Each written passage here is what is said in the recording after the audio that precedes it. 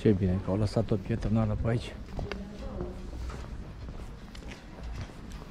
Oricum fiind urât afară nu e circulată, dar măcar Uf,